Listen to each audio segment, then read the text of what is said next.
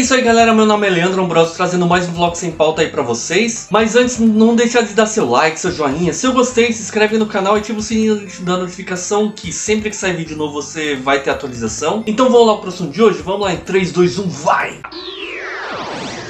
Fala galerinha, meu nome é Leandro Ambrosio, como falei no início do vídeo. Hoje eu vou falar de uma pessoa muito importante, que sim, ela foi muito importante para a ciência forense e para a ciência criminal, inclusive. Hoje eu vou falar de Francis Glessner Lee, exatamente. Nasceu em 25 de março de 1978 e faleceu 27 de janeiro de 1962, exatamente. E como eu falei sobre ciência forense, exatamente, ela foi uma pessoa que contribuiu para a ciência forense dos Estados Unidos da América, ou EWA, como você preferir. Bom, o sonho de Francis ou Fanny para os amigos ou para a família era estudar, exatamente. Pelo fato de ser mulher naquela época, ela não poderia estudar. Exatamente, o sonho dela é de estudar. O irmão dela, ele fez o ensino fundamental, o ensino médio e depois ele cursou a faculdade, que era um sonho que ela tinha muito. Mas assim, tipo, é, como ela estava em casa, o sonho dela era estudar, ela estudava desde o ensino fundamental, médio, só que em casa com os materiais do irmão. E aí, obviamente, o irmão foi cursar medicina e ela foi atrás com os materiais do irmão, óbvio, como eu falei, e foi indo, ela foi pesquisando pesquisando, foi estudando. E aí um dos colegas que era muito amigo dela, que era o George Birds Margaret, ele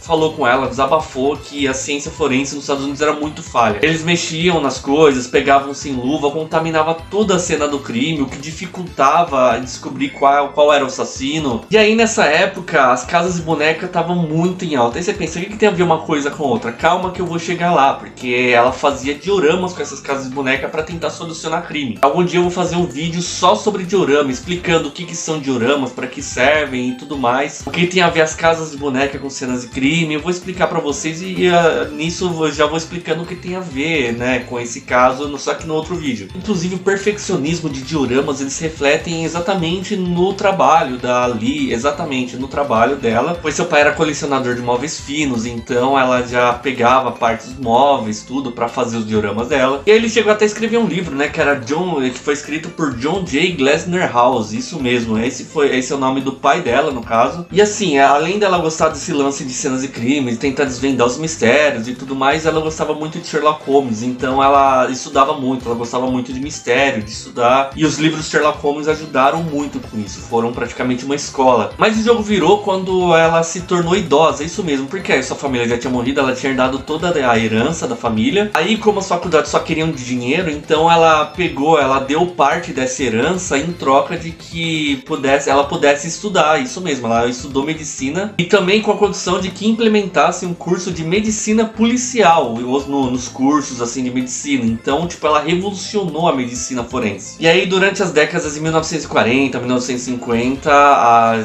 Gessner ela organizou assim uma série de seminários sobre né, medicina forense, sobre cenas de crimes, sobre realizar. Ela, inclusive, ela acabou desvendando com diversos crimes com esses dioramas e também a medicina forense, tipo tomando mais cuidado, colocando luva, não mexendo, usando escova. Inclusive, ela organizou até série de palestras com policiais, isso mesmo, que chamava Nutshell Studies and Explain Death. Isso mesmo. Então, ela organizou essa série de palestras até mesmo com policiais. E aí aí 18 desses 20 dioramas que ela criou na época, assim, que já é bastante, até hoje são usados em cenas de crime, em cenas, né, reais. Tem até um lance de que fazem como se fosse um campeonato entre a polícia mesmo para descobrir cenas de crimes. É bem interessante isso daí. E aí em 1943 ela foi nomeada a primeira capitã do batalhão de polícia em, em New Hampshire, tomando, tornando a primeira mulher associada do batalhão de polícia na Associação Internacional Nacional de Chefes de Polícia. Francis morreu em 27 de janeiro de 1962 em New Hampshire, porém os trabalhos dela de ciência forense são usados até hoje e ela causou uma revolução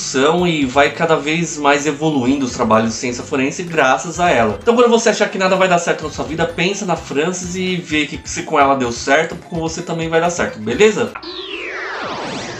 Mas é isso aí galera, se você gostou do vídeo, não deixa de dar seu like, seu joinha. Se eu gostei, se inscreve no canal e ativa o sininho da notificação, que sempre que sair vídeo novo você vai ter atualização. Comenta aí se vocês já conheciam esse caso, se vocês não conheciam, o que vocês acharam, porque né, aí pode sair um segundo vídeo sobre isso. Compartilhe esses vídeos nas redes sociais, Facebook, grupos de Facebook, WhatsApp, grupo de WhatsApp, entre demais redes sociais. Que vocês gostando, curtindo, compartilhando, comentando, o YouTube entendeu que vocês gostaram do vídeo, começa a passar o canal pra frente, o canal começa a ganhar relevância relevância, beleza? Muito obrigado e falou!